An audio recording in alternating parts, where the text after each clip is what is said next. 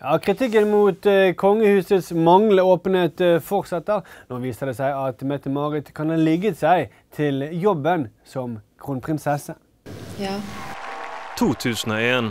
Et lykkelig kronprinspar feirer at Mette-Marit får stillingen som Norges nye kronprinsesse.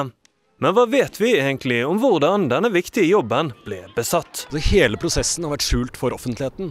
Jobben ble aldri utlyst, og det er heller ingen tegn til at andre kandidater, f.eks. mannlige kandidater, har vært vurdert. 5080 Nyhetskanal har bedt slått om innsyn i ansettelsesprosessen, og fått blankt avslag.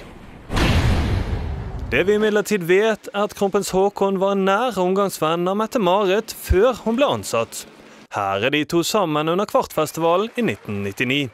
Etter det 5080 nyhetskanaler farer, innledet Mette-Marit et seksuelt forhold med kronprinsen en gang mellom 1998 og 2001.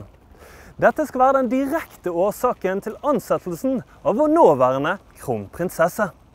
Sporene etter knulling har Slottet forsøkt å skjule i private skoler. Ja, hvis dette stemmer, så strider det mot alle regler for ansettelse i offentlig sektor. Forventer du at Slottet åpner for innsyn i ansettelsesforhold? Altså, Jeg forventer at kongefamilien offentliggjør en liste over alle de har ligget med i embets medfør. Kronprinsessen koster fellesskapet hvert år 70 millioner kroner.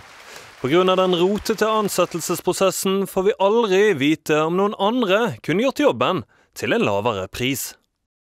Vi tar en liten pause her på 5080 Nyhetskanalen. Når vi kommer tilbake, så ser vi nærmere på påstanden om at kong Harald i flere år har vært en nær venn av kronprins Haakon.